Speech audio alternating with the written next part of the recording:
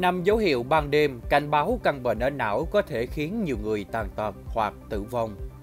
Trong những năm gần đây, số người mắc bệnh liên quan đến não, đặc biệt là đột quỵ và nhồi máu não không ngừng tăng lên theo từng năm.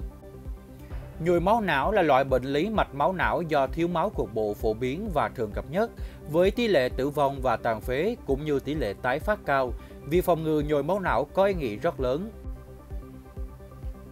Bất kỳ ai cũng có nguy cơ bị nhồi máu não, nhưng theo các chuyên gia y tế tại Bệnh viện John Hopkins thì bốn nhóm người sau đây có khả năng bị nhồi máu não cao hơn. Đầu tiên là nhóm người thiếu vận động, thứ hai là thường xuyên có tâm trạng không tốt, thứ ba là nhóm người bị tăng huyết áp, tiếp đến là hút thuốc và uống rượu. Nắm được các dấu hiệu cảnh báo nhồi máu não có thể giúp cứu sống và giảm thiểu nguy cơ bị tàn tật. Đột quỵ xảy ra ngày càng thường xuyên hơn ở những người trẻ tuổi. Những người có tiền sử gia đình bị đột quỵ cũng có nguy cơ bị đột quỵ cao hơn. Tuy nhiên, các dấu hiệu cảnh báo hoặc triệu chứng của đột quỵ có thể không được nhận biết. Một phần của vấn đề là nhiều người nghĩ rằng đột quỵ chỉ xảy ra với người khác chứ không phải mình. Nếu gặp năm hiện tượng này trong khi ngủ thì cần cảnh giác với bệnh nhồi máu não. Đầu tiên là tê một bên chân tay.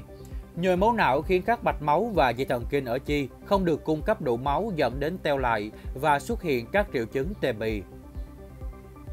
Ban đầu có thể chỉ tê cục bộ, nhưng khi bệnh tiến triển nặng thì triệu chứng này sẽ tăng dần và một số cơn tê sẽ lần lượt xuất hiện tê bì mặt, tê lưỡi, tê tay và các hiện tượng khác.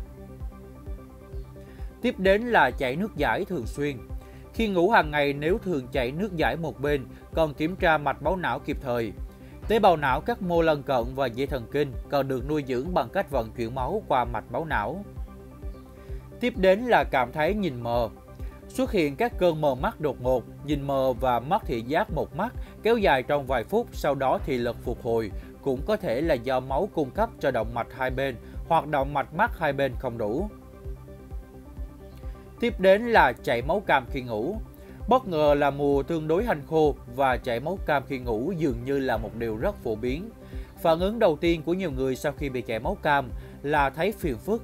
Nhưng nếu bạn thường xuyên bị chảy máu cam khi ngủ thì phải xem có phải là do máu cung cấp cho não không đủ hay không. Và cuối cùng là thường xuyên chóng mặt và nhức đầu. Nhức đầu và chóng mặt là những triệu chứng thường gặp ở bệnh nhân nhồi máu não. Nhức đầu và chóng mặt thường xuyên có thể là dấu hiệu báo trước của bệnh.